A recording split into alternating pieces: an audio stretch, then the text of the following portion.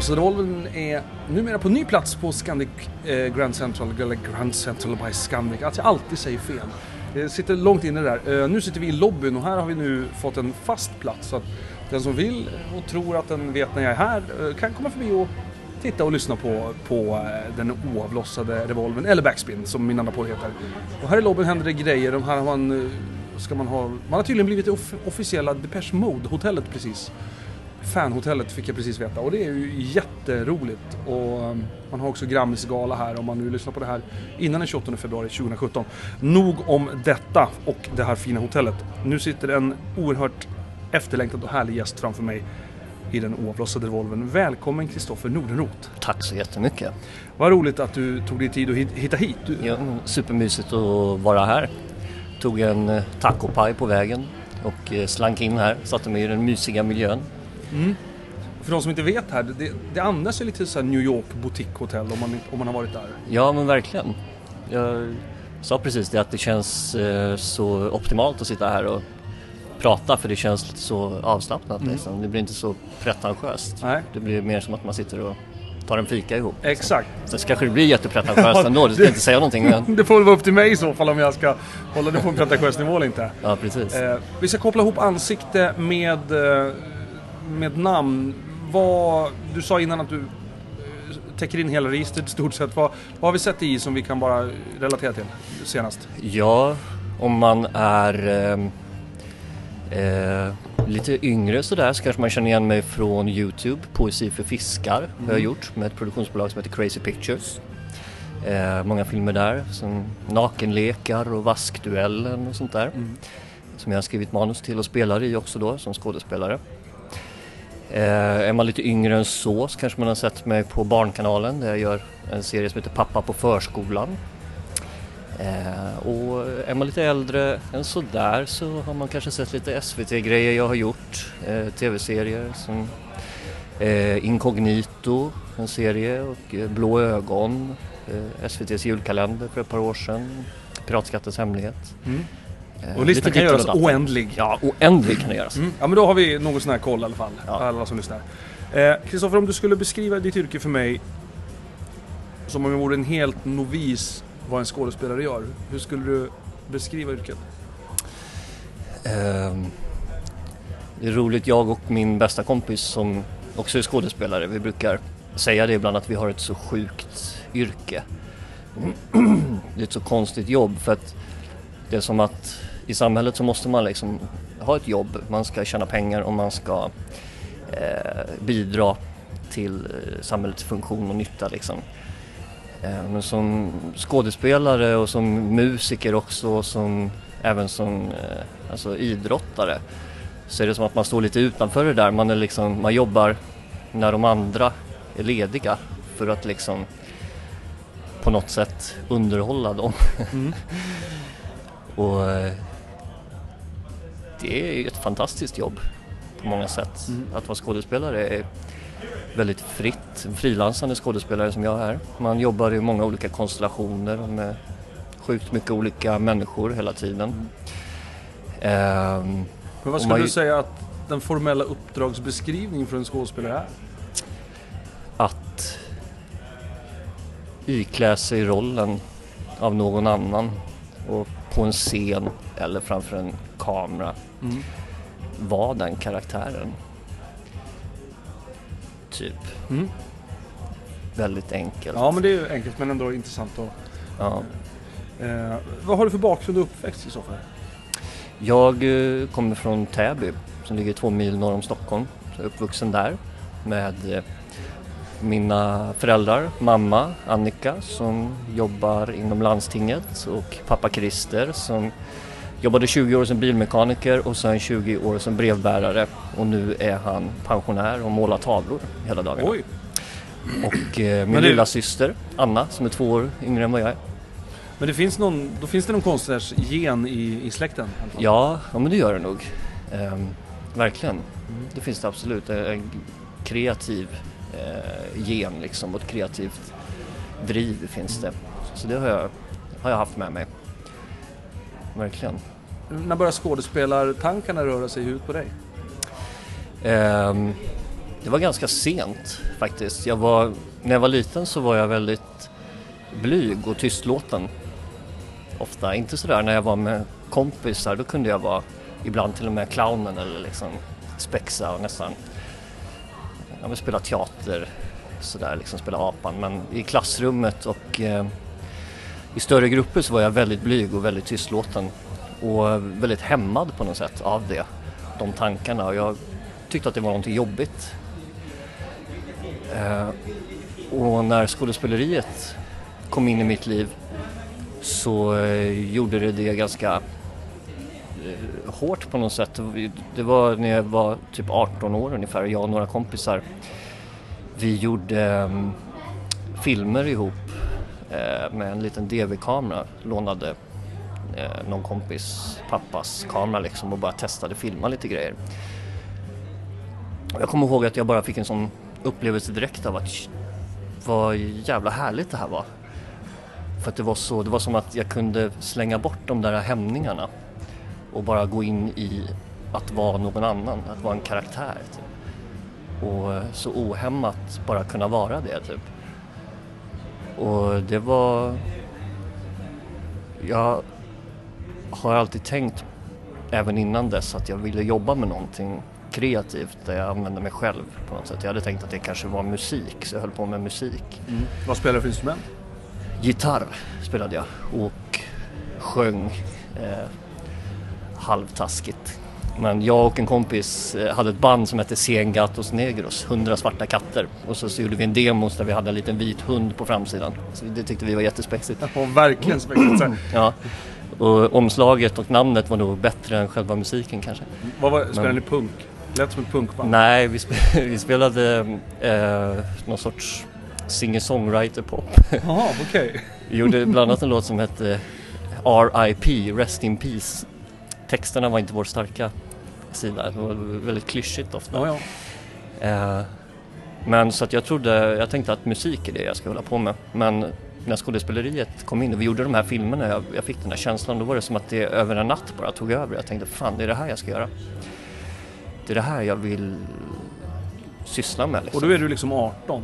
Ja, då är jag 18, 19 mm. precis eh, där när jag gick ut gymnasiet. Jag tror att det kanske var sommaren efter gymnasiet. Men innan hade det inte funnits några sådana här drömska tankar om att jag ska bli skådespelare? Nej, verkligen inte. Tvärt emot tror jag. Mm. mm. Snarare att det var någonting skrämmande. Att vad fan, shit det skulle jag aldrig göra liksom. Mm. Ställa mig på en scen eller liksom hålla på och stå i centrum på det sättet. Eh, väldigt obekvämt liksom. Men hur tar du dig vidare då därifrån liksom, när du känner att det här är min grej? Och inte liksom har jobbat med någonting sånt här innan? Nej, jag fick som en sån stark motivation. Liksom. Jag har alltid eh, hakat upp mig på grejer och blivit otroligt motiverad när jag väl hittar rätt. Som när jag var liten, då fick jag för mig att jag skulle samla på gamla granar till mina föräldrars förtret. Så jag drog hem efter jul, du vet när folk slänger sina granar. Jag drog hem alla gamla granar och träd och skit och samlade det på trädgården. Mm. Eh, och sådär. Så populär du måste ha varit. Oerhört. Jag har alltid varit sådär, fått för mig grejer, börjat samla på grejer, fått samla mani typ. Nu jävlar ska jag samla på gamla mynt eller nu jävlar ska jag samla på gamla böcker som handlar om kungen typ. Okej, okay. eh, väldigt eh, men en, ja, en motiverad personlighet har jag alltid haft när jag var liten också och den kickade igång väldigt hårt när jag kände att det här var det jag ville syssla med. Så att jag började googla typ eh, Eh, på så skådespelare, hur gör man i stort sett? Hittade någon så här filmsidor som finns och såg folk som sökte skådespelare eller statister och sånt där och eh, läste i forum att ja, man brukar göra så att man skickar sitt CV till rollbesättare, regissörer, producenter. Så jag gjorde ett CV i eh, Word och skickade det till alla som jag kunde hitta, alla rollbesättare och, allting. Och, eh, eh ja, fick komma in och göra några eh, såna här statistgrejer liksom i typ Beck-filmer och sånt där. Jag tyckte det var hur häftigt som helst att komma dit och se hur det funkade på plats det här med film, en riktig filminspelning. Och jag älskade den arbetsplatsen på en gång, kommer jag ihåg. Att bara få betrakta den, att se att det var som en vanlig stämning, en vanlig arbetsplatsstämning, en god stämning, folk hade kul och liksom spexade så plötsligt så blev alla skärpta och så var det tagning. Och så skapade man någonting magiskt där, någonting som inte var eh, verkligheten utan som var fiktion. Och det, ja, jag tyckte det var jävligt mäktigt på något sätt. Eh, och jag började också gå eh, kvällskurser skådespeleri. Jag gick någon på Kalle Flygare, kommer jag ihåg. Och jag gick också någon jätteflummig eh, eh, method acting kurs i någon källarlokal någonstans som handlade om att man skulle sitta i typ två timmar och skala imaginära apelsiner lukta på skalen och sen skulle man ta en dusch i en timme i en dusch som inte fanns utan man skulle stå i rummet och låtsas att man duschar, känna hur vattnet rann och så här. Och eh, vilket, jag avfärdar inte method acting på något sätt, det kan vara hur bra som helst men det var, det var lite dumt när en 19-årig kille som aldrig har hållit på med skådespeleri förut får det första mötet av en så här, vad en teaterlektion är. Det kan ha lite motsatt effekt. ja men lyckligtvis så skrämde det inte mig. Jag, jag fortsatte men jävlar vad duktig du är på att skala imaginära apelsiner. Ja, som in i helvete. Ja. skulle kunna göra en hel monologföreställning där jag sitter och skalar en imaginär apelsin. och sen får du duscha och, efteråt. få femmor i DN. Mm. Eh, ja, precis. Men, eh, Men kurser och parallellt då lite statistgrejer och sånt där? Mm. Ja, och också liksom hoppade på, eh, gick på provfilmningar med mycket filmelever och sånt där. Alltså, gick på filmutbildningar som skulle göra kortfilmer och liksom eh, utbildningsfilmer och sånt där. Som jag gjorde mindre roller i och sen så gjorde några huvudroller i sådana kortfilmer också. Och ja, man kom, kom liksom vidare så väldigt mycket och, genom att göra hela tiden. Mm. Learning by doing. Ja men verkligen. Jag försökte bara göra så mycket som möjligt. Och insåg ganska snart att jag måste gå någon utbildning för att jag har ingen koll på det här riktigt. Jag tycker att det är skitroligt. Jag tycker att jag är bra men jag behöver nog gå en utbildning. Dels för att det ser bra ut på pappret mm. och eh, också för att jag behöver lära mig lite teknik och hur det funkar egentligen. Ja. Så då sökte jag Skara skolscen som är en folkhögskola, förberedande eh, scenisk folkhögskola som ligger i Skara. Eh, som var jättebra utbildning för mig då. Mm. För då fick jag liksom börja från grunden på något sätt. Då fick du lära känna verktyget?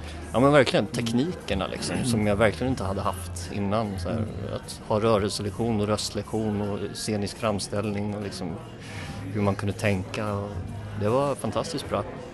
Sen var inte Skara en fantastisk stad för mig att bo i. Jag hade ganska mycket ångest när jag var där för att jag kände mig otroligt instängd. Det var första gången jag flyttade hemifrån då också när jag var 20 och så flyttade jag till Skara eh, som är en väldigt liten stad som ligger mitt i skogen.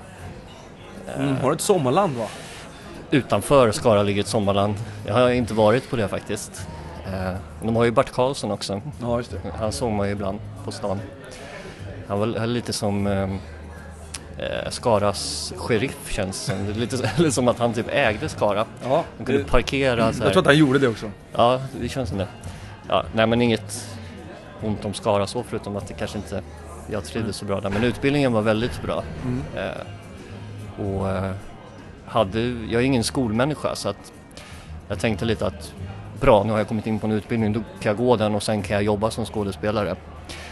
Eh, men sen när jag gick där på Skara skolsen då märkte jag att alla andra började prata massa om scenskolan. Att det ska man gå. Mm. Här, man, man, måste gå scenskolan.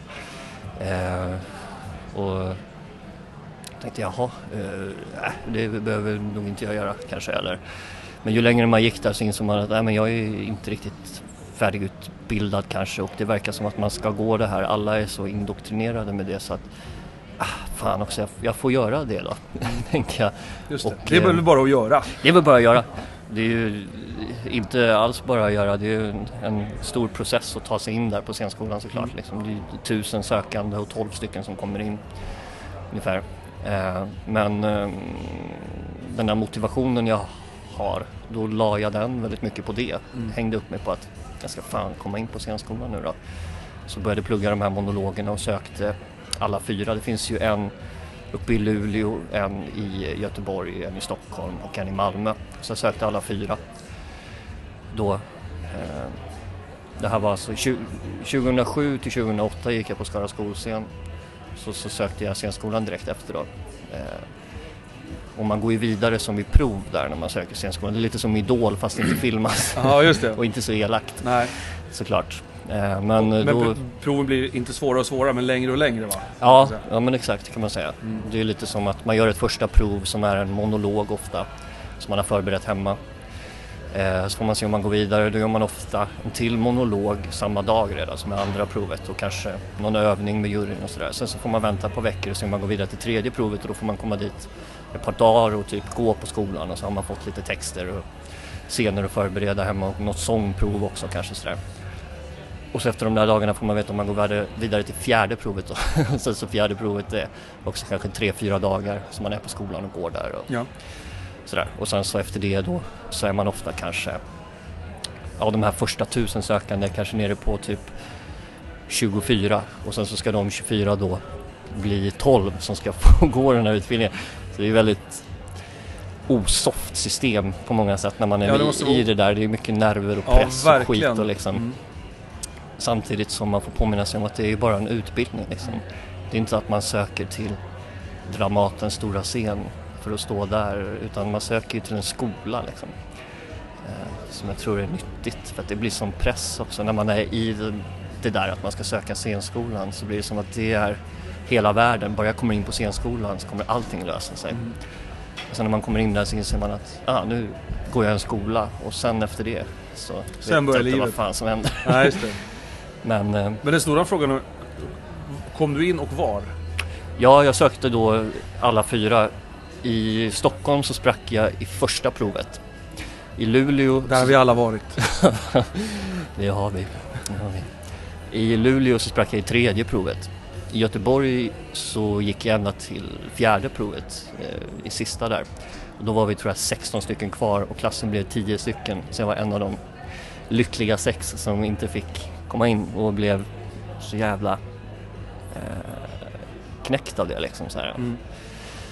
Eh, och tänkte inför Malmö som var den sista skolan jag skulle söka då att fan nu ska jag jag har varit så i, fokuserad på eh, prestation och på att liksom gå in och så, ah, nu ska jag vara så bra som möjligt. Ah.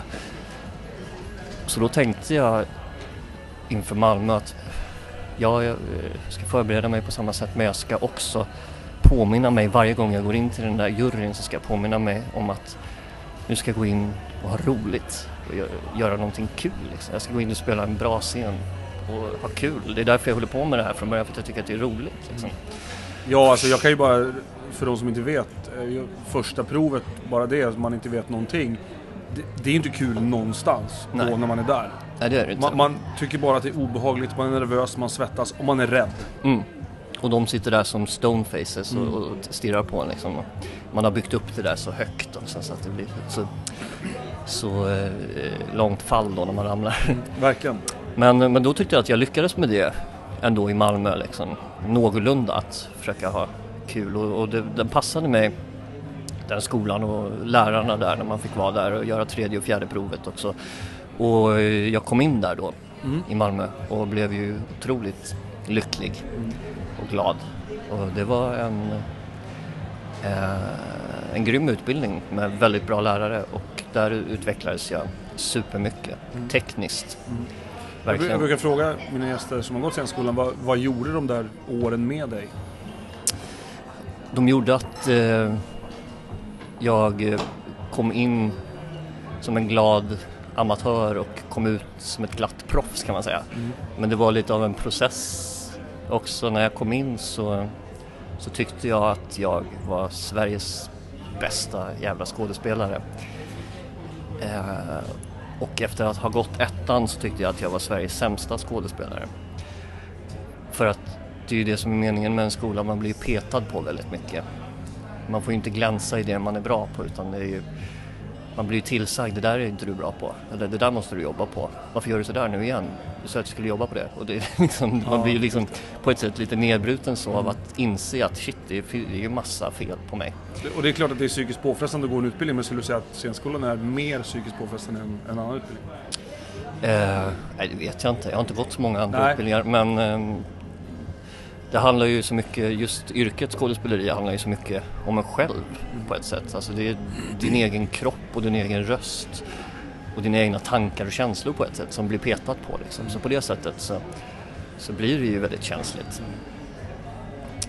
Man, man är ju på något sätt sitt instrument som skådespelare, även om det låter klyschigt och så, Ja, men så men det är är det ju så. liksom. Det är, ju- och det, är- Det är du som gör det och konstigt. ingen annan. Nej, exakt. Men eh, Ja, det var en ganska brokig bana fram till scenskolan ändå. ja, det var det kanske. Jo, men alltså det var, det var inte självklart. Nej, nej. Absolut. Det gick ganska fort ändå när jag tänker på det liksom. Men de där åren var ju väldigt viktiga. Mm. Eh, och det handlade mycket om att jag bestämde mig och slängde mig ut liksom. Mm. Och det var på något sätt någon sorts befrielse och ett driv tror jag mycket i det som jag sa att jag var ganska tystlåten och blyg när jag var liten. Att det blev som en motreaktion till det också kanske. Att nu jävlar eh, ska jag ta tillvara på det här och visa vem jag egentligen är. Liksom. Eh, Befinner du dig idag på den plats du vill vara yrkesmässigt? Både ja och nej kan man ju säga. Nej på grund av att jag har alltid tyckt att det är så viktigt att ha det där drivet av att vara på väg någonstans. Att ha mål, att tänka att jag ska ta mig dit, jag ska göra det här, jag ska bli ett namn inom det här, jag ska göra en långfilm, jag ska göra det och det och det. Så på det sättet så, så vill jag nog inte heller vara där jag vill vara riktigt, utan jag vill alltid vara på väg någonstans. Liksom. Men ja, på det sättet av att jag har kommit väldigt långt och känner mig trygg i mitt yrkesval och i vad jag vill göra och eh, sådär, uppnått många roliga projekt. Liksom. Jag är ju manusförfattare också, så jag skriver egna saker och driver igenom egna saker också. Som till exempel den här långfilmen som vi har gjort nu med eh, Crazy Pictures som jag gjort, tidigare gjort eh, Poesi för fiskar på Youtube med. Vi har ju jobbat i eh, sex år har jag varit inblandad i ett långfilmsprojekt som heter Den blomstertid nu kommer som jag och Viktor Danell eh, som är regissör på Crazy Pictures har skrivit manus till. Och den är, är den färdiginspelad? Ja, det är den. Förra året Ja. så filmade vi den, 106 inspelningsdagar.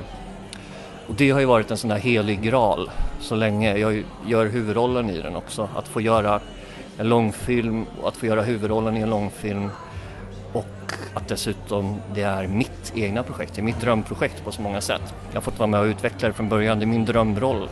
Jag känner rollen bättre än någon annan för att jag har jobbat med den och skrivit den rollen i sex år. Och eh, förra året fick vi äntligen filma den och eh, kände att jag kunde också gå väldigt all in i det. Eh, filmen utspelar sig två olika tider med 12 år emellan så min karaktär är 12 år yngre den första delen. Och då visste jag att det skulle vara ett glapp på tre månader ungefär mellan de två inspelningstillfällena av det yngre och det äldre. Så då gick jag faktiskt ner 20 kilo i vikt till eh, den första delen. Så jag gick ner från 83 kilo till 63 kilo jäklar. och filmade det i februari. Och sen så hade jag tre månader däremellan så då Då är det dags att börja äta smör och dricka grädde. Ja, fast jag gjorde det på ett hälsosamt sätt faktiskt. Okej. Ändå jag tränade och käkade bra och sådär och gick upp 10 kilo då till 73 kilo. Mm. Men det syns ganska mycket i filmen när man ser materialet. Mm. Och ja, men det har varit en härlig känsla av att ha uppnått någonting som jag har velat länge. Den där filmen är fan inspelad nu och jag gav allt hela vägen även när vi filmade den. Liksom. Och nu ligger den på några hårddiskar där, 106 inspelningsdagar senare och sex år senare och håller på att klippas. Som ska komma ut liksom. Är du inblandad i den processen också? Nej, inte särskilt. Nej. Eh, jag kommer säkert vara med och titta lite på eh, några versioner och sådär som, som kommer ut och kanske feedbacka men det är framförallt Crazy Pictures som står för efterbearbetningen.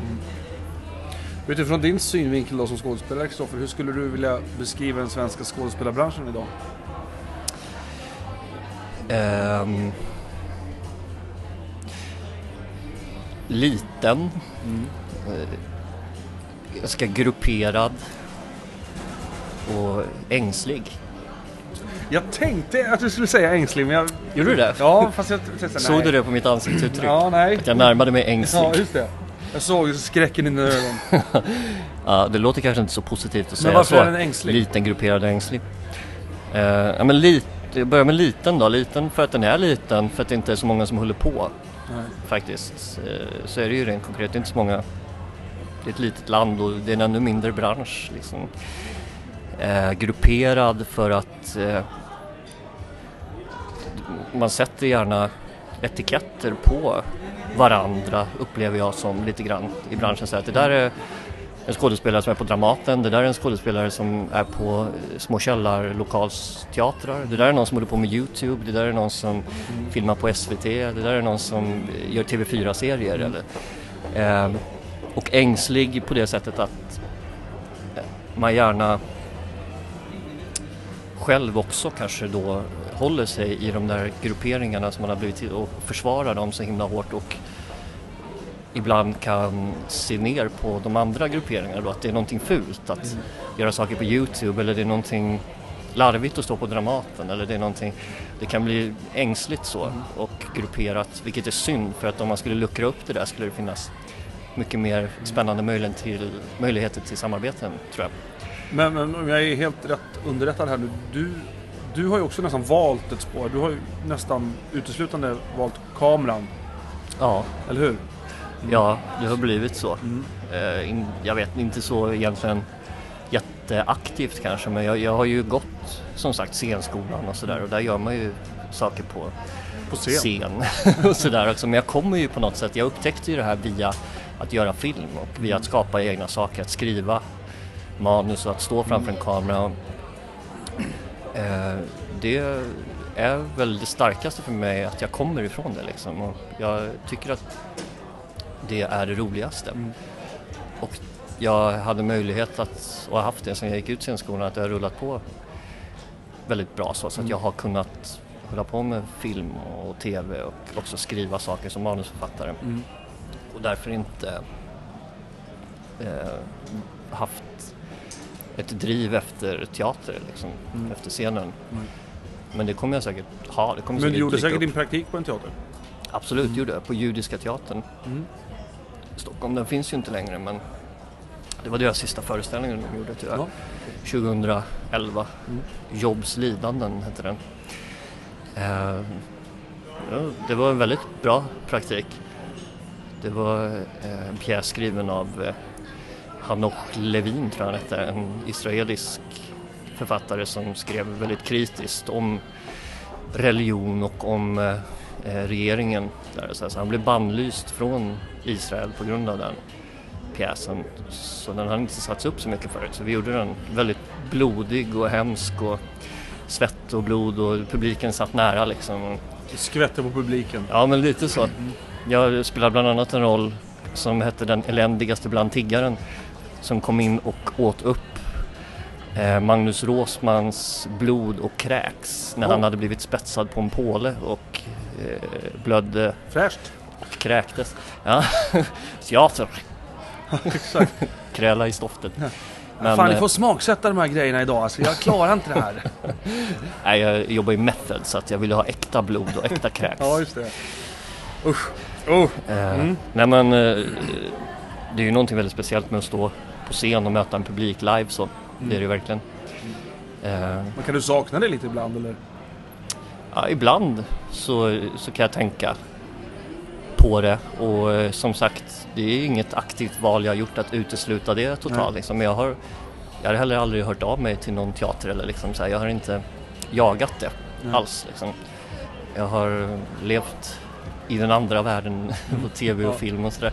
Och jag gillar ju den känslan av, man brukar säga att det är så himla här och nu känsla på teater och på scenen att det är liksom det man gör här och nu eh, blir för alltid här och nu och det är liksom nu det måste sitta och sådär och att på, på eh, när man gör film att man kan ta om och, och sådär. Men jag upplever det inte så, jag upplever det som en sån extremt här och nu känsla när jag filmar också att det, det, det är ju nu det måste sitta liksom, Ja. den här tagningen. Man har inte tid att göra tio omtagningar heller utan Det, Det är är ju ju nu. budget som ska hållas va? ja, det är ju det va. Det är ju det. Och det måste ju också eh, ja, men sitta och det blir förevigat på ett coolt sätt där också som jag tycker är en härlig känsla att när jag har lämnat en film då vet jag att den kommer för alltid finnas kvar där. Liksom. Just det. Det är någonting magiskt med det. Man kan briljera på scenen men då är det kanske bara 600 personer som såg det, sen blir det inget mer. Nej, precis. Men eh, ja, ja, men det är ju någonting väldigt olika på ett sätt men ändå väldigt lika. Liksom. Jag vet inte. Jag, det är många som eh, tänker på att det är sån extremt stor skillnad men jag brukar inte tänka så mycket så liksom. Nej. Jag tänker nog mer att ja, jag har inte gjort teater nu på ett tag liksom, men det kommer, kommer Du har, kommer. gott, du har gott om tid tror jag. Ja, det tror jag. Jag är ju ung. Har du någon eh, yrkesmässig eh, förebild? Ehm, ingen sådär klockren sådär, det är nog lite olika hela tiden. I och med att jag skriver och eh, eh, utvecklar saker själv, egna idéer och från tanke till färdig film eller sådär så, så inspireras jag ofta av människor som gör det. Typ Ricky Gervais tycker jag är helt fantastisk som har gjort The Office och eh, Extras. Och sådär. Jag tycker att han är liksom en briljant manusförfattare och även skådespelare. och Liksom. Ja.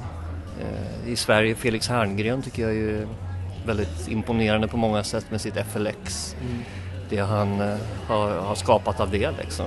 Ja, och om man tittar på Felix så kan man ju också titta tillbaka vad han faktiskt har gjort. Ja, ja precis. Men i- Apropå brokiga banor. Ja, liksom. sina gubbar och eh, Ja. allt det här va. Ja, verkligen. Precis, hur han började och hur det liksom, det är det som är spännande med, med den här äh, branschen också. Man börjar någonstans och sen så, ja, vet man fan inte var man hamnar till Nej. Det är nog mycket det jag tycker om också. Det är inte så utstakat liksom. Att eh, jag kommer börja här och jag kommer klättra till den stegen och sen kommer jag göra det, jag kommer få den titeln eller sådär. Så, utan det är, kan ta vägen vart fan som helst. Man kan möta precis vilka människor som helst eh, i vilka projekt som helst. Du, eh, om vi ska prata lite hur du arbetar med dig själv i, inför en roll då. Mm. Hur, hur eh, och då kanske vi inte ska ta den blomstertid du kommer som exempel för det är, exceptionellt men eh, låt oss säga... svälter mig. ja, nej men alltså, och, och vi kan inte prata mycket teater, men alltså låt oss säga att du, du har en roll framför dig som du ska göra. Hur arbetar du med den? Hur går du in i, i, eh, i processen? Mm. Det är intressant med processer och metoder tycker jag för att det, jag tänkte på det lite grann eh, för några veckor sedan att jag har gått igenom så många olika sätt att jobba på, metoder och processer från att jag började, då när jag upptäckte det här från början, då var det lite att min process och min metod var att jobba upp så mycket energi som möjligt och sen springa in framför en kamera eller en scen och ladda ur mig själv.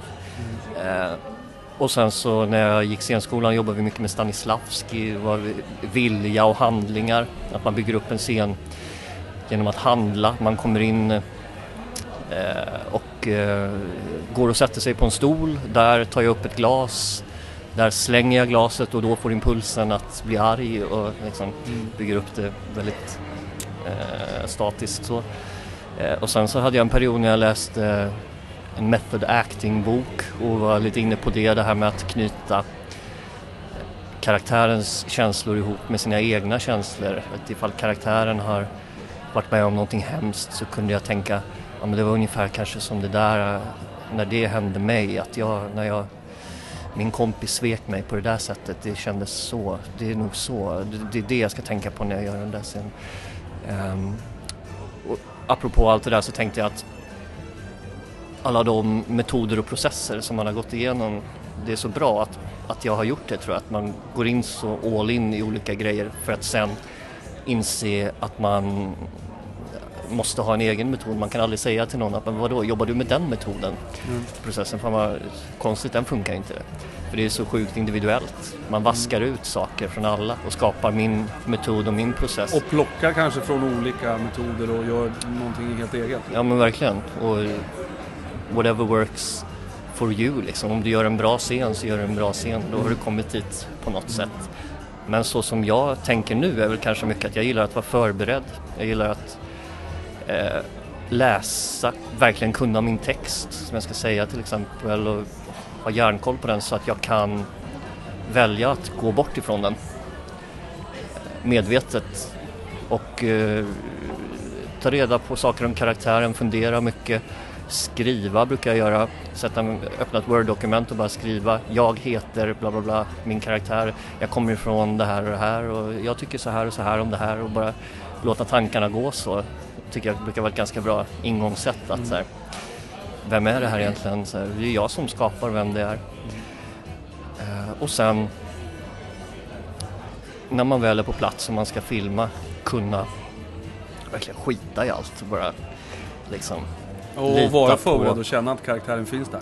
Ja, verkligen. Att vara förberedd men när man väl kör och särskilt då när man filmar då kanske ha någon sorts I don't give a fuck attityd lite grann att man är så här cool med det liksom. För det har man ju i, i livet, man vet vem man själv är, man vet exakt hur man själv är. Så därför behöver man inte tänka så mycket innan man säger saker eller gör saker. Och man kan försöka återskapa den känslan genom, absolut genom att vara förberedd, genom att kunna sin roll och sådär men också genom att släppa det mycket. Eh, så hittar man ofta små detaljer tycker jag som är intressanta som särskilt på då film kanske eh, kan sticka ut och göra en karaktär väldigt mycket. Är du av den uppfattningen att en karaktär alltid ska ha en hemlighet som du inte berättar för någon annan? Ehm, nej, inte, inte så att jag själv förbereder det Nej. då hemma men Jag vet att det, det är många som jobbar så, att de, de ska ha någonting i, som inte... ja, ja, ja, ja, jag fattar. Du kanske är min nästa metod att snöa in mig på. Testa, just det! testa hemlighetsmetoden. Det ha hemligheter, Strunt, strunta helt i en och allt annat. Ja, Nej, jag tänker inte berätta vem jag är. Nej, så jobbar jag. Sen så har väl alla karaktärer såklart hemligheter liksom om de ska vara rika karaktärer att vara en, en, en människa liksom sådär. Ja. Men eh, ingenting som jag brukar jobba Nej. ut efter så att jag så här, Nej. skapar en hemlighet som det här ska inte han få veta. Liksom. Det var intressant. Du, eh, under den tiden du har jobbat så här länge då, har du, har du vacklat i yrkesvalet något? Har du känt att det här var inte mitt shit? Ehm, nej, alltså ibland så eh, kan man tänka, och det tror jag är ganska vanligt, att man kan hamna i så här, fan vad skönt det skulle vara att bara gå till ett jobb eh, som en rutin och göra någonting praktiskt som eh, jag inte bryr mig så mycket om och som jag inte behöver ta med mig hem kvällar och helger utan som jag släpper där och fokuserar på att ha en stadig månadslön och semester och göra roliga saker på helgerna. typ. ja, det var som du sa i början så här, ja, nu, nu har alla andra semester, då, då är det bra sommarväder, då ska vi filma den här filmen. Ja, exakt. Ja, men det är ju lite så. Och eh, ja, att vara frilansande skådespelare kan ju vara hur fantastiskt som helst när man har saker inbokade men det kan också vara hur eh, nervöst och osäkert som helst också om man inte har saker inbokade. Vad fan händer härnäst nu liksom? Så den tryggheten såklart kan man ju ibland liksom sakna men oftast så, eh, eller alltid, så kommer man ju till slut till insikten av att nej men jag skulle inte kunna göra det, jag behöver göra det här. Det här är det som jag tycker är kul och jag skulle må skitdåligt tror jag av att inte få ha det här i mitt liv. Om vi går ner på det lite själsligare planet då, vad, vad skulle du säga är viktigast att ha inom sig för att vara trovärdig skådespelare? Um, en en förståelse för känslor tror jag. Alltså en, en typ av känslomässig intelligens. Att kunna se och förstå sina egna känslor och andras känslor och sätt att vara på tror jag. Att ha någon sorts förståelse för hur, hur människor fungerar och känslor fungerar för att kunna omfatta det själv liksom och kunna begripa det För det är ju det man gör när man spelar. Man spelar ju människor som består av handlingar och sånt där som alltid som drivmedel har känslor och eh, erfarenheter. Och det måste man kunna relatera till då. Så att, en känslomässig intelligens, tycker jag. Mm. Känslomässig empati och intelligens. Ja, Mm. absolut. Precis, en förståelse liksom. Mm. Gud vilka bra svar du ger Kristoffer. Tack Fantastiskt. så mycket. Du, eh, eh, nu står det föreställning här. Jag tror jag vet svaret på de här två frågorna. Men eh, vilken, som skådespelare, vilket är det roligaste projekt du har gjort och vi, vilket projekt är du mest stolt över? Ja, men det är ju alltid, eh, tror jag då, projekt som jag har utvecklat själv. Där det har kommit, för det är en så jävla häftig känsla att det börjar som ett frö i mitt huvud, en idé av någonting. Är vi på stolt nu alltså? Ja, vi är på både och Ja, vi är både och. Ja, Jag smackar av ja dem båda två av dem, ja exakt. Eh, och någonting som börjar som en tanke i mitt huvud och som sen blir ett manus och som sen involverar massa människor på en filminspelning och en efterproduktion och man skapar någonting som sen blir en färdig film. Och du bara, det här är det var mitt lilla frö det här. Ja, ja, Ja, det är skitcoolt. Ja, verkligen. Till exempel, ja, det finns många saker jag gjort så, men om man tar liksom ett exempel av den här vaskduellen som vi gjorde som en poesi för fiskarfilm som blivit väldigt viral. Liksom. Att det börjar som en tanke i mitt huvud att här, fan vad kul att göra en sån grej typ. Och så skriva det och sen filmade vi det. Och sen gå in och kolla på den på Youtube nu och se att den har typ, vad det nu är, nästan två miljoner eh, träffar tror jag någonting. Att så många har sett det och känner till det som var min idé från början och min tanke som växte ju från mitt huvud till, känsla, till någonting större. Och eh, ja, ja, men så att det är jag ju jättestolt över och som jag var inne på, Den blomstertid nu kommer, långfilmen som vi har jobbat med i så många år. Sex år, det är ju fan en femtedel av mitt liv liksom. Man har inte så många sådana projekt i sig ens, alltså som man jobbar så länge med. Eh, vilket är coolt, så att då måste man ju verkligen handplocka dem. Men det är jag jättestolt över att vi har eh, gjort den och att det känns väldigt bra och oavsett hur den kommer mottas så har vi verkligen gjort den helt på vårt sätt liksom. Och som vi ville och som vi tror på. Och också som är, ska jag säga, som Chris Pictures gjorde med den där, är driven som ett helt eget projekt. Ja, Det är ju fantastiskt. Inget eh, utifrån stöd, ja kanske någonstans lite grann, men alltså det var ju en otrolig... De hade en, en sån Kickstarter-kampanj, var det inte så? Eller? mm, jo men exakt. Och det var ju mäktigt att se det också eftersom vi hade gjort de här Poesi för fiskar-filmerna innan, att känna det stödet. Att folk Mm. faktiskt gick in och skänkte pengar, allt ifrån en krona till eh, ja, upp till liksom 30 000 tror jag det var några som skänkte till och med, vilket är helt fantastiskt. Och eh, alla de är ju så engagerade och det är det som är coolt. Det är liksom ett nytt sätt att göra film på på något sätt. Man bjuder in publiken innan man ens filmar och de blir en del av det. Så att de är ju faktiskt en del av Den blomstertid nu kommer också. De har varit med och finansierat det och varit med och stöttat ända från början. Vi har haft deras stöd i ryggen när vi har filmat och vi har gjort eh, bakomfilmer och släppt till dem hela tiden. Och sådär. Till skillnad mot eh, old school sättet att göra film då, där man lämnar in en ansökan till SFI och eh, får ett stöd och gör en film och sen när den väl är filmad då kanske det går en trailer på SF liksom och sen så går några och ser den på bio och sen kommer den ut på DVD. Mm. Eh, Och så hamnar den i reabacken. Ja, exakt. Men det, ja, jag tycker att det, det är en spännande tid att leva i nu som skådespelare och som manusförfattare och kreatör. Mm. Det finns så mycket nya sätt att tänka på Mm. som växer också mer och mer via Youtube och liksom sociala medier. Mm. Ja, sätt att nå ut och att eh, engagera sin publik. Mm. Så det, jag, det är apropå att vara stolt över, det Ja, är jag stolt jag över att förstår. jag har Mm. fått vara en del av och liksom som vi var med Poesi Ja. för fiskar ganska tidigt, kanske bland de första i Sverige att göra det ändå liksom. Mm. Att bygga den bryggan på det sättet. Eh, jag vet att vi, pratade när vi hade kontakt innan så att vi skulle prata lite eftersom på scenen har du inte stått så mycket men vi kan väl försöka vinkla de här frågorna åt, åt ditt eh, konstnärliga håll. Alltså, Mm. vi kan kalla det för... Ställer till det för dig här. Ja exakt, det är ingen fara. Vi, vi kan kalla det för din, din uttryckande konstform. Den typen av konstform du jobbar mest med. Vad, vad kommer den ha för betydelse i framtiden tror du? Just min eller? Nej, din kommer, det är nästa fråga. Alltså överlag. Ja, ja, Den mm. alltså, Nej men, ehm, ja all typ av eh, uttrycksform, konstnärlig liksom. Om man pratar om film som jag gör mycket eller mm. scenkonst också och musik och sådär, konst och kultur. Det, det är ju, kommer ju alltid vara viktigt tror jag för det är så mänskligt att eh, dels utöva det och kunna ge uttryck för känslor och eh, eh, en temperatur på vad som händer i världen just nu och,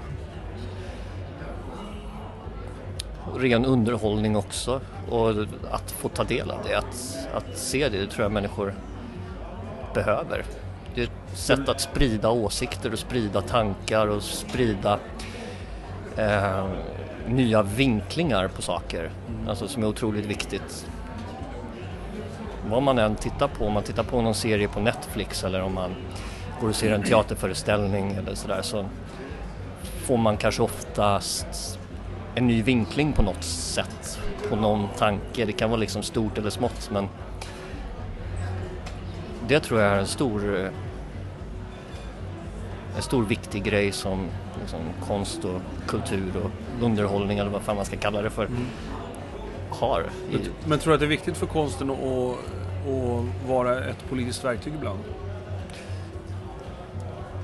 ja, absolut, det kan vara det. Det måste inte vara det. Men, men eh, ja, det, att, att belysa saker ur nya vinklar tycker jag är eh, eh, var jätteviktigt och eh, där är ju konsten perfekt för att kunna göra det och kunna nå folk som eh, man kanske inte når med det annars. Ehm, jag tänker på eh, men som Poesi för fiskar som vi har gjort, de har ofta en grund i något sorts samhällsaktuellt ämne och problematik. Vi har gjort två filmer, en som heter Ta mig och en som heter Se mig som är eh, handlar om att vi, vi vänder på könsrollerna. Eh, killar är killar och tjejer är tjejer men vi har bytt på könsrollerna så att eh, killars eh, bröst är sexualiserade till exempel och det är killar som sminkar sig och det är kvinnorna som eh, har ett försprång i karriären och killarna är hemma med barnen och, och så vidare. Och, ehm, Eh, där tyckte jag det var häftigt att det blev ganska effektivt med just de filmerna att vi nådde en publik som kanske inte skulle vara intresserad eh, av feministiska frågor annars och har tänkt på det så mycket. Ja, det. Men en publik som hade gillat filmer vi har gjort tidigare som var lite mer vräkiga och så här, höhö, vaskduellen och liksom nakenlekar och sitter och pratar om att vara bög och så här. Eh, fick ta del av de här filmerna och eh, ja, men där har jag också mött liksom många exempel på, på folk och, och killar och män då kanske som har kommit fram och sagt apropå vad som är så jävla bra den ser mig. Att jag har aldrig tänkt så, men det blir så tydligt när man vänder på det sådär. Att, apropå att belysa saker ur en ny vinkel. Mm. Och, ja, det är coolt när man Mm, lyckas ja, med det. verkligen. Din egen konst då, i framtiden, hur, hur tror du den kommer att se ut? Det kommer vara briljant. Ja, såklart. Naturligtvis kommer den vara briljant. Ja, nej, eh, jag vet inte, jag kommer nog fortsätta eh, på det sättet jag gör nu. Att eh, jag har alltid som ambition på något sätt att inte hamna i, i fack och eh, att bli grupperad och sen så blir man det ändå kanske så här. Men jag gillar att följa min lust mycket liksom, vad jag känner för att göra. Om jag känner för att göra en flippad humorgrej för Youtube så vill jag göra det. Eller vill jag göra en väldigt seriös och tung drama kortfilm så vill jag göra det. Och, eh, ja, inte ta mig själv på för stort allvar utan följa min egen lust och eh, eh, ja, göra saker jag tycker är kul och viktigt på något sätt. Så kommer väl min framtid förhoppningsvis se ut. Det tror jag är ett hälsosamt sätt att göra saker som man själv tycker eh, är bra och roliga. För att då kommer andra förhoppningsvis tycka det också. Så fort man hamnar i det där att pressa sig in i att jag ska göra någonting som belyser det här nu eh, som är viktigt för de här människorna så att jag anses vara så här eller liksom då blir det ofta krystat och ängsligt. Ja. Just det, krystat och ängsligt. Ja. Mm. Ängsligt, Kom ängsligt igen. Ja, vi återkommer till det. Det någonting jag tänker på väldigt ofta, det här- med ängslighet. Men du, eh, om vi rör oss i, i, i den konstform du, du jobbar med mest. va- varför ska den konstformen finnas överhuvudtaget? Varför är den nödvändig? För att jag tycker att det är så roligt att hålla på med den. Just det. Men, ehm, nej, men den är ju uppenbarligen nödvändig eh, om vi nu pratar om konstformen film och eh, tv och rörlig bild liksom. Mm. är ju uppenbarligen nödvändig eftersom det är så stort. Folk kollar ju på det eh, på Youtube och på Netflix och folk går på bio och man kollar på filmer. Man, man behöver det liksom på alla möjliga sätt. Dels ja, är den viktig för att som sagt se saker ur nya vinklar kanske och belysa grejer men det är också viktigt bara som ren underhållning och verklighetsflykt tycker jag. Mm. Ja, det, är, många som säger det. Det är viktigt att kunna, kunna se båda. Att både liksom känna att nu kan jag sitta här, jag blir underhållen, det måste inte betyda någonting för någon eller jag bara tycker att det är härligt. Ja. Medan jag kan också se någonting som griper tag i mig, som nästan förändrar mig. Ja, och det behöver ju inte vara, det ena behöver ju inte utesluta det andra liksom. Tycker jag. Alltså man behöver inte känna att man ska gå och sätta på en film som kommer förändra mig nu liksom och Nej. sitta och verkligen vara uppmärksam utan man kan, det kan ju handla om att se en, När kommer förändringen? ja men exakt. Det kan ju handla om att se en bara rent underhållande rolig film liksom, Mm. eller serie och man kan ju ändå få med sig saker eh, liksom, av hur en karaktär agerar eller är eller hur någonting vinklas liksom. Det, ja, det behöver inte vara så antingen eller tror jag. Nej.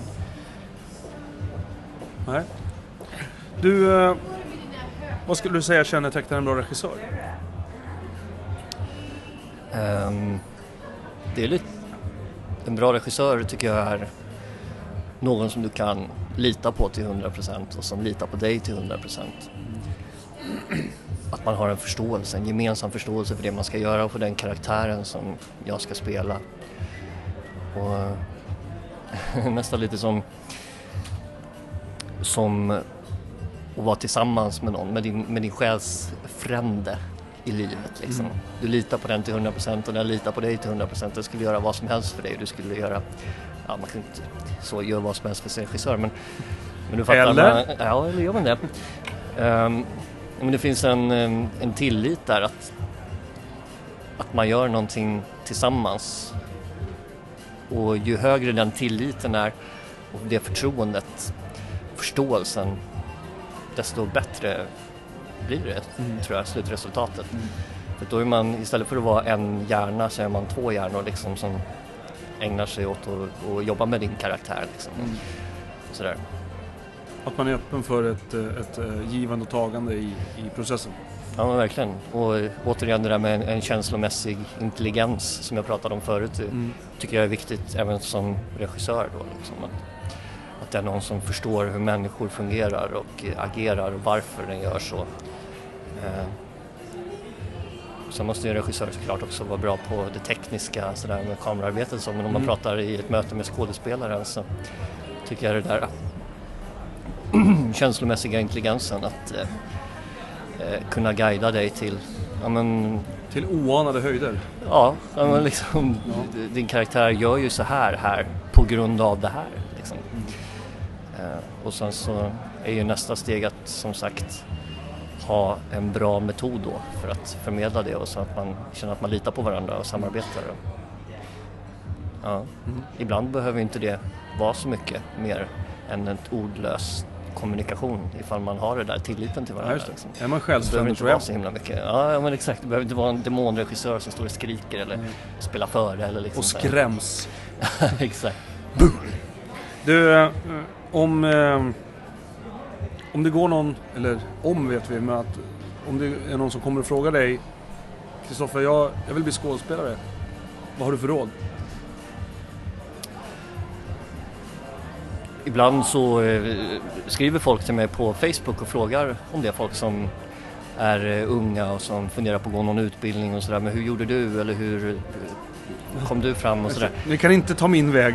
Det går inte, den är, den är så brokig som du skulle säga. ja, just det. Eh, brokig och ängslig så att det går inte. Eh, nej men då brukar jag dels lite som vi har gjort här liksom med dina bra frågor så här förklarat hur jag gjorde och sen så eh, mitt råd brukar vara att så här, gör så mycket som möjligt tycker jag, särskilt i början. Att verkligen utmana sig själv och slänga sig ut och så här. Dels gå kurser och utbildningar och sådär såklart men att också hela tiden göra saker. Gör kortfilmer och, och eh, gör eh, teaterföreställningar eller monologföreställningar om man vill stå på scen. Och eh, vara var med, var statist eller var avancerad statist i någon stor produktion för att se hur det funkar. Alltså samla på erfarenheter och gör saker och gör bort dig. för att det är genom att göra de där sakerna som man tänjer gränserna hela tiden och förstår att just det, men sist jag gjorde det där då blev det så, det blev inget bra. Jag måste göra så där istället. Erfarenheter liksom, tycker jag. Man kan alltid läsa sig till saker men att genom att göra det, det är så det är så man jobbar fram en process och en metod också. Mm. Att bara göra, göra, göra och det är någonting man fortsätter med såklart hela livet liksom. Jag är väl, man är aldrig fullärd. Det är jag långt ifrån att vara också men jag har kommit väldigt långt i eh, mitt eget självförtroende över mitt yrke och vad jag gör. Jag bru- jag brukar, den här metaforen eh, som jag brukar ta, och det om någon kan relatera till den, jag vet inte om jag svamlar nu men det är som när man, jag tränar ju kampsport, karate. Jag har inte kommit så långt än, eller jag har en bit men eh, det är som alla säger som man pratar med, alltså vägen fram till det svarta bältet är ju liksom vägen dit.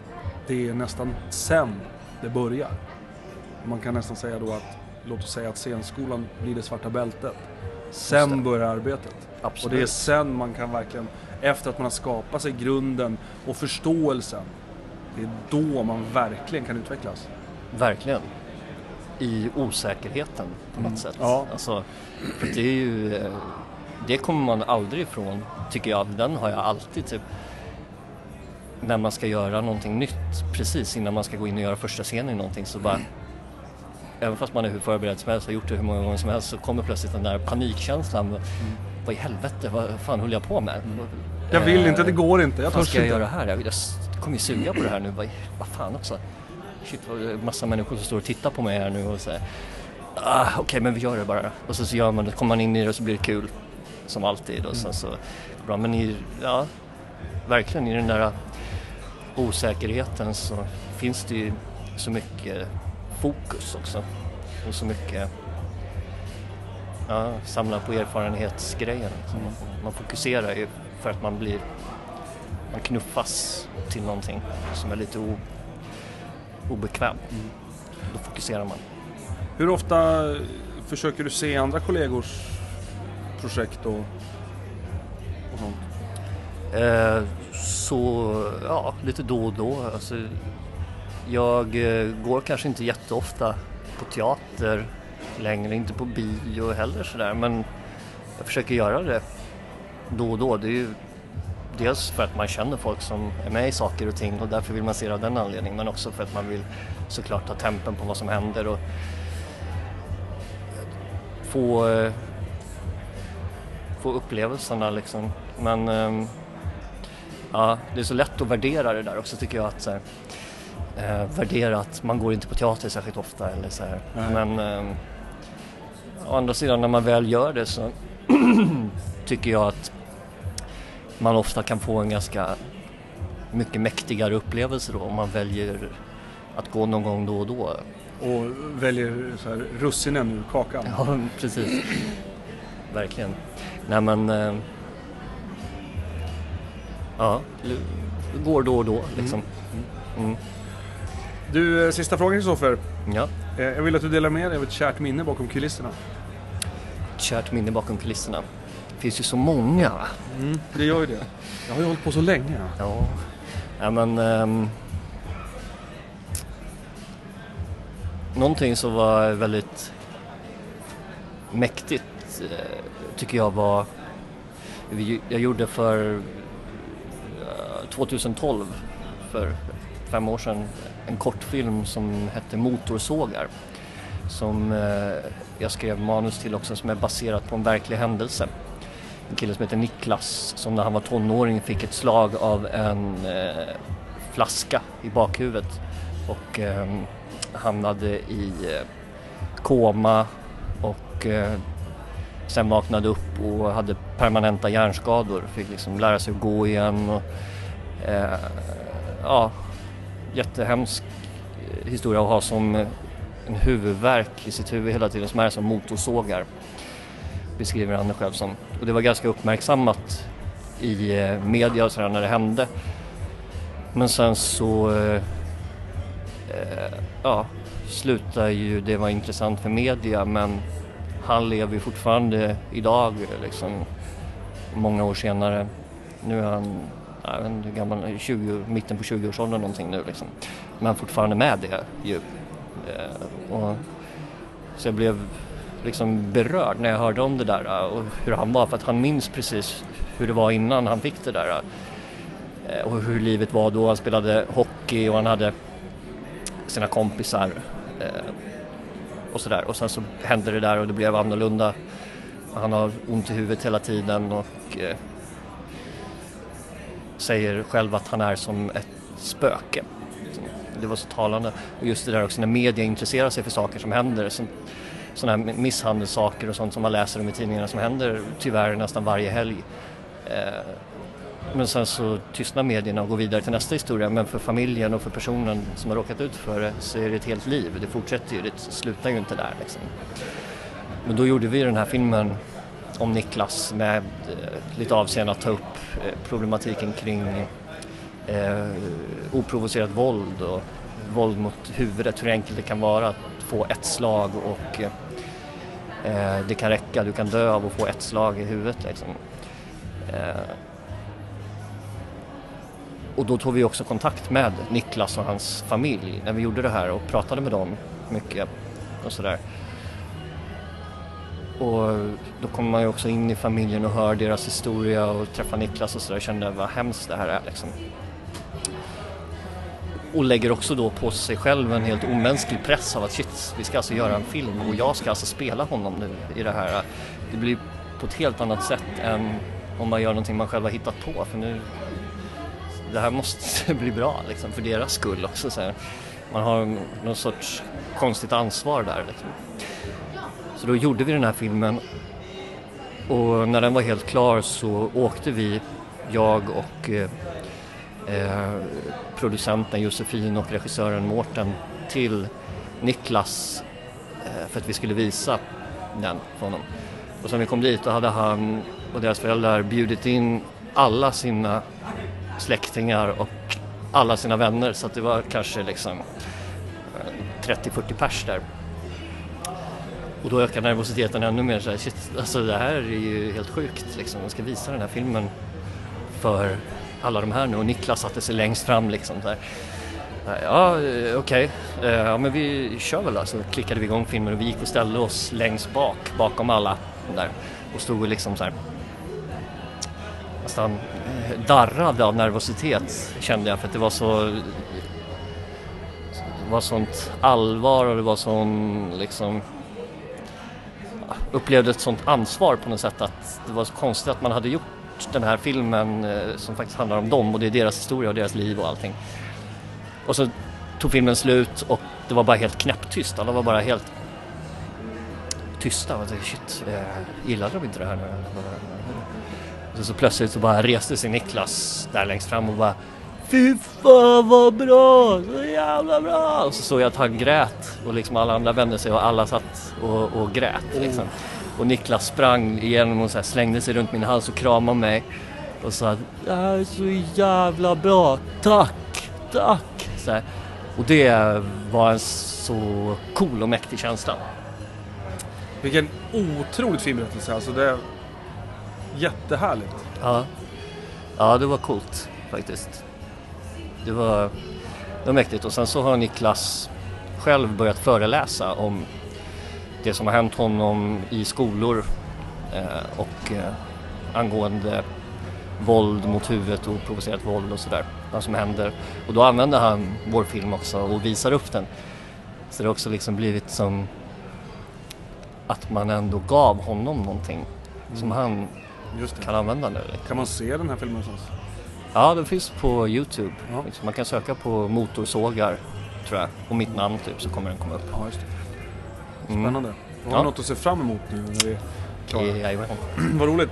Kristoffer, är, är det någonting du känner att du inte har fått säga i den här härliga timmen vi har haft? Eh, det skulle väl vara att prata lite mer om det här med att vara ängslig och eh, jag känner mig väldigt nöjd. Mm, det gör jag har också. varit, eh, Jag är oavlört glad för att du ställde upp i den oavlossade revolvern så förlorade Tack så mycket. Tack så mycket.